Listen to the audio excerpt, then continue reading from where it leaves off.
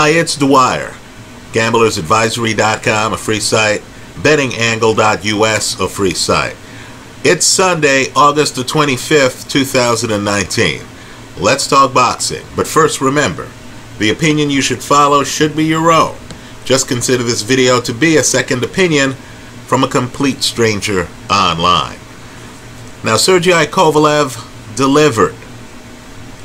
Right? The stoppage comes off a jab. Quite frankly, that jab was a problem for Anthony Yarde from the start of the fight. Understand, you have Kovalev, nickname Crusher, right? Dictating distance, even when he's on his back foot, right? Understand, Kovalev's a vet. He concedes the pocket to Anthony Yarde, right? Young fighters think they need to be on their front foot to be tough. Older fighters aren't interested in being tough. They're just trying to be effective. Right? So here you have Kovalev, who moves better than Anthony Yarde. Right? This is a movement fight. He makes a decision early in this fight. I'm going to concede the pocket to Anthony Yarde. So he's moving around the ring and he's flashing one of boxing's best jabs right? And it's controlling distance to such an extent that Anthony Yarde can't even land his. Let's look at the CompuBox numbers from some rounds. Understand, because of Kovalev's jab, Anthony Yarde spends a significant portion of this fight too far away from Kovalev to do anything. So, in the fifth round, Anthony Yarde throws 22 jabs. He lands none of them. Right? In that round, Kovalev throws 37 jabs. He lands 10 of them. Let's go to the next round, the sixth round. Anthony Yarde throws 16 jabs. He lands one of them.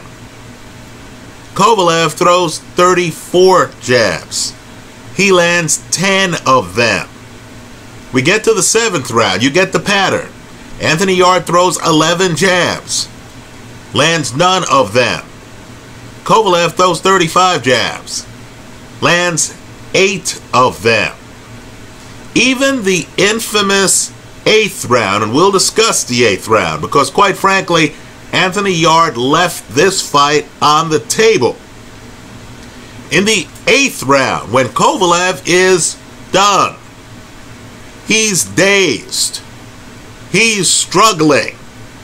Anthony Yarde throws 12 jabs, he lands two of them. Kovalev throws 32 jabs, lands nine of them. In other words, Kovalev is landing at least eight jabs around right? Anthony Yarde, a big round for him during this four round stretch of the fight was him landing two jabs. Now, all I can say is when you think about distance, how could Anthony Yarde be too far away to land a jab? But yet Kovalev in the same ring with him is landing his jab. And that's because Kovalev is moving. Right? So understand the distance isn't too far for Kovalev to land his jab because Kovalev moves to a spot, and by the time Anthony Yarde makes the adjustment, Kovalev's hitting him with jabs. Right? By contrast, Anthony Yarde hasn't mastered the movement part of the game. Right? He can't get close enough to Kovalev. He's robotic. He's a puncher who needs to have both of his feet planted on the canvas. Just look at the feet, guys. Kovalev's on the balls of his feet. So Kovalev's moving. So Kovalev is shortening the distance, getting jabs off, then moving away.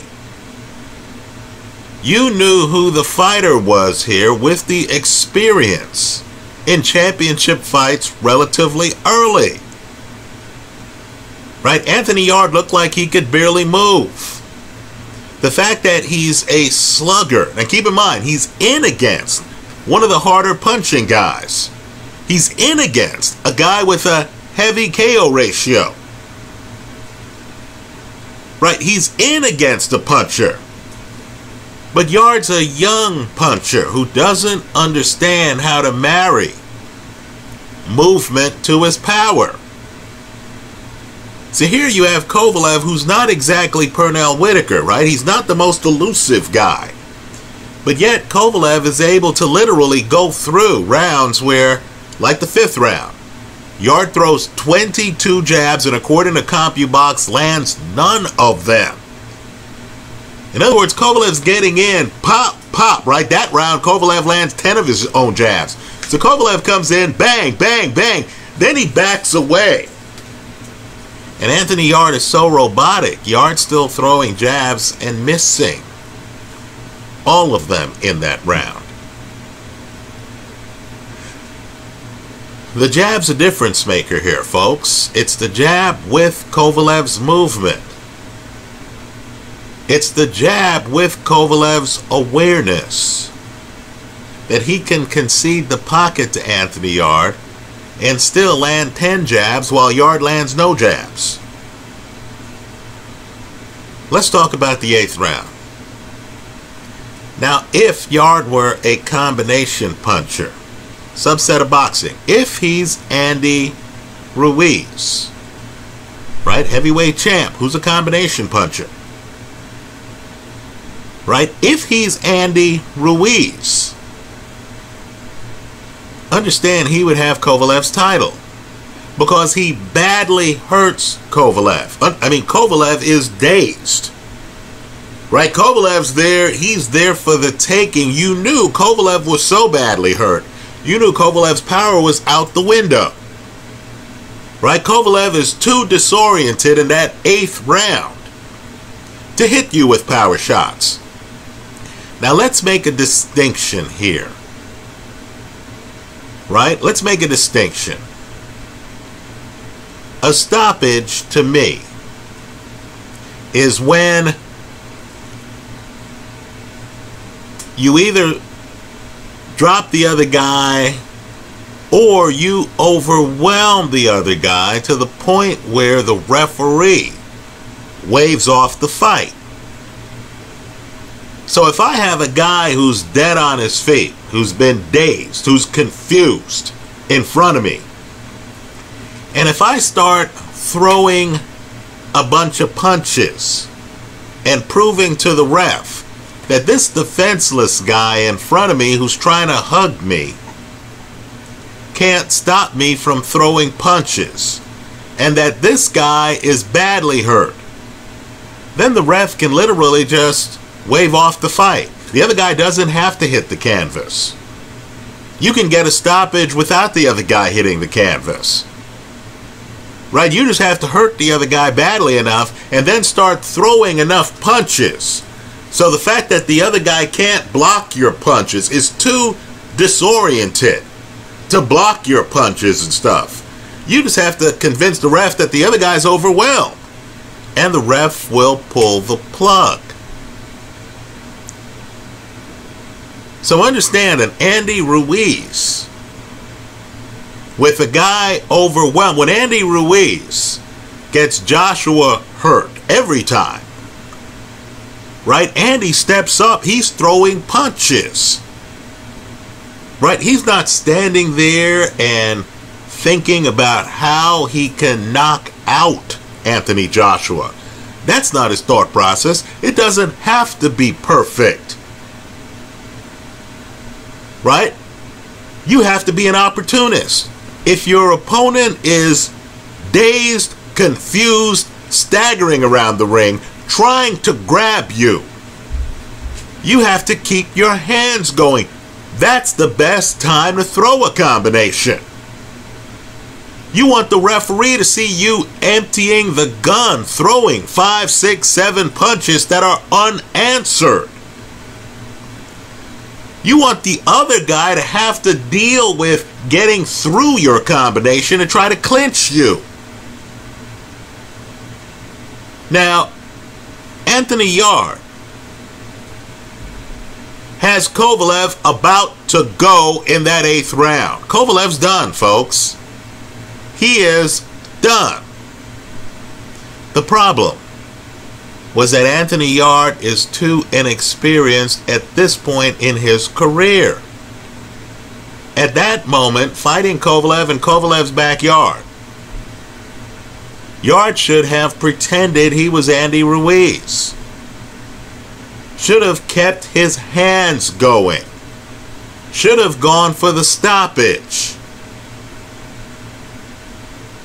Right? Should have just thrown a bunch of punches at Kovalev. The punches didn't even have to be that effective. Just throw a bunch of punches that Kovalev has to struggle to block that has Kovalev looking overwhelmed. Right? Understand, Kovalev doesn't have the best survival skills. We all saw that second out that first Alvarez fight. We saw the second Andre Ward fight. Right, Anthony Yarde had to realize in that eighth round on the road in Kovalev's backyard that he wasn't there to win a decision. He also had to realize that that was the time to empty the gun. Instead, he makes a mistake. Instead of going for the stoppage, right? Jumping in, flashing volume on Kovalev. Right? Forcing the ref to think, wow, can Kovalev even defend himself? right? Instead of jumping in and moving his hands so Kovalev can't even clinch him. Think about how ineffective Anthony Joshua was in trying to clinch Andy Ruiz when he was hurt. Instead of going for the stoppage, Anthony Yarde, as green as he is, goes for the knockout. See, he has Kovalev badly hurt in front of him. It's the eighth round of a fight he has to know he's losing on the scorecards. And Anthony Yarde is too patient. Anthony Yarde, a closer, high KO percentage, a heavy punch, is looking for the perfect opening to throw the perfect punch. He should have been flurrying. He should have been throwing a lot of punches. He doesn't do that. To the point where Kovalev is able to clinch him. Let me let me make another point too. You're fighting Kovalev. Now you remember Andre Ward folding up Kovalev's body like a lawn chair. You remember Alvarez hitting Kovalev in the body and Kovalev having problems with the body shots. Now, here you have a puncher like Anthony Yarde fighting a guy who is weak in the body. As I've said in an earlier video, 175 is a tough division. Because you can't just say, okay, I'm going to move up in weight because cruiserweight is too high up from 175. It's 25 pounds away. Right, so here's Kovalev weak in the body Somebody in the comment section of this video tell me how Anthony Yarde only lands 26 body shots. That's CompuBox's number. 26 body shots on Kovalev over 11 rounds. 11 rounds. Shouldn't he have been targeting Kovalev's body? Did he not watch the Andre Ward rematch? Did he not watch the Alvarez fight? How does Kovalev go from being completely spent at the end of the first Alvarez fight? Folks, he's done. He's completely spent. The ref lets that fight go on. Kovalev's hitting the canvas. Kovalev looks done. Right? By the way, Alvarez is moving his hands. He's not allowing Kovalev to survive by clinching him and holding him and stuff like that. Alvarez understood. Get in and out. Right? How could you have the Alvarez film? And then have Anthony Yarde in the ring over 11 rounds, landing less than three body shots per round. Right? How does that happen, folks? When Kovalev's trying to grab Anthony Yarde in that eighth round, understand, Kovalev is literally this close to losing his title. Right? Even if Kovalev succeeds in grabbing you around the shoulders, don't you just let your hands go to his body. Don't you? Here, Anthony Yarde, I don't know what he's doing. Right? He lands 132 punches in the fight. He's going for Kovalev's head. Did, did someone not tell him that Kovalev had a jab? That finding the head of the guy who has a stick in your face and who's moving around the ring might not be the best idea. Maybe going to his body would be easier to hit.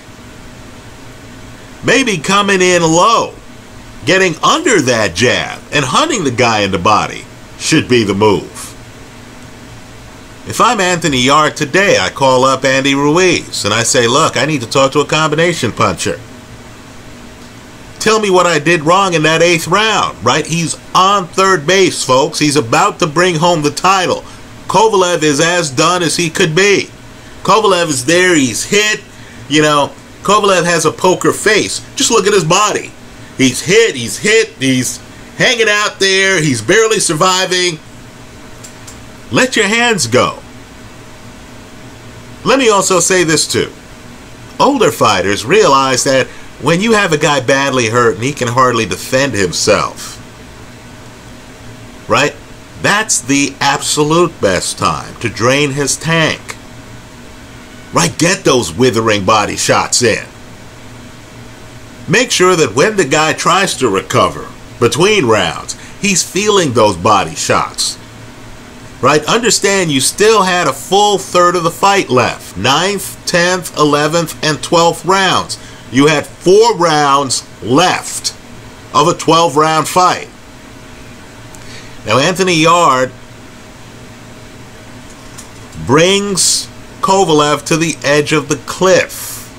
In my opinion, he doesn't let his hands go. This this reminds me of the Luis Ortiz Wilder round, right before the ref gives Wilder extra time, where Ortiz looks like he's run out of gas. Right? Ortiz is not high volume, even though he has Wilder badly hurt. Right? I believe if Anthony Yarde were a little bit more experienced, he would have been much more aggressive, at least in flashing his hands, to convince the referee look, this guy's defenseless. Right? The fighters who get it, guys like Gervonta Davis, they hurt you he's not going to then stand around and have the fight be evenly paced and look for the way to knock you out. No, no. Even sluggers like Gervonta Davis, they hurt you. They let their hands go. They understand, you know what, if I have this guy hurt, and if I then just start flashing hand speed here and combinations, and the ref is right here looking at the action, the ref might just stop in and wave off the fight. Yarde had a golden opportunity in that eighth round. Did not take it. So let me tell you what happens after that eighth round. In the ninth round, he throws 11 jabs. Doesn't land any of them. Right? Crusher, in the ninth round, throws 44 jabs lands 15 of them. In other words, after the eighth round passes, Crusher gets back in the saddle. 10th round. Yarde throws 16 jabs. Lands only one of them. Given Yarde's lack of success in landing the jab, by the way, Crusher lands 17 jabs in the 10th round. Given Yarde's lack of success in landing the jab, shouldn't he have gone to plan B by the ninth and tenth rounds? Isn't there a point in the fight where a guy has to say, well, you know what? My jab's just not working tonight. I'm having a problem hitting this guy with the jab. Let me also say, too, and I'm a big believer in this. Look at the Golovkin Kell Brook fight. We know Kell Brook has the better legs than Golovkin, right? Kell Brook can actually move in the ring. But Golovkin was the kind of guy who has a football player's mindset. There are times in that fight where Golovkin literally, you know, Kell Brooks across the ring, Golovkin runs over to him. Literally just runs at him. Look at the first Golovkin Canelo fight. Canelo's trying to box, Canelo's moving away. Golovkin runs at him to get at him. Now you're Anthony Yarde. The jab is not working. Kovalev is dictating distance right? Moves better than you, has you resetting. In a polite fight where jabs matter, you're losing the rounds. Right? You're losing the rounds. At what point do you say, okay, plan A hasn't worked? Let me start running at the guy. Let me start trying to disrupt this pattern. Let me get out of my construct. Since I'm a puncher, since this guy's weak in the body, let me run over there, put my head down. Bob and weave. Channel Joe Frazier. Channel Tyson. Channel Marciano. Get in there, get low, and then start winging hard shots to the guy's body. Because this is your shot at the title. Right? It's time to get impolite the polite fighting, whatever fight plan Yarde had coming in, he's getting hit with the jab. Right? 8 to 17 times with the jab. Round after round. His jab's not landing. Whatever you've prepared for, there's a moment in the fight where you say, okay, now I've got to move on from that. What's worked against this guy in the past?